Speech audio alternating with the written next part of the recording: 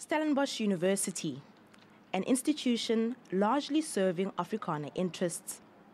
But 18 students did the unthinkable. They broke the mold by engaging a political organization deemed an enemy of the apartheid state.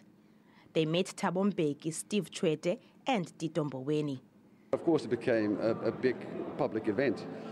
And with that, there was uh, a lot of pressure. I mean, I was taken out by the rector at the time as the worst SRC president in the history of the university.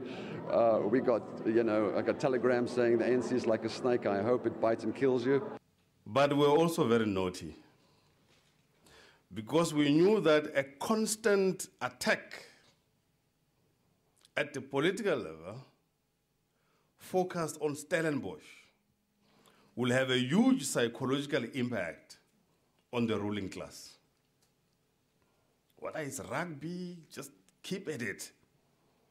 You boycott rugby games, uh, do all kinds of things just to irritate the hell out of the enemy. The students' visit to Lusaka was a turning point for Stellenbosch University.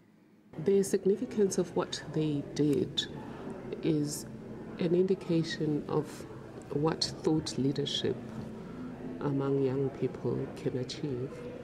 At the time, there was a particular narrative in South Africa that you don't speak to the ANC because it's a communist organization. But these young people chose to speak to the ANC to find out for themselves. The public protector, however, says 20 years into democracy, South Africa still remains an unequal society.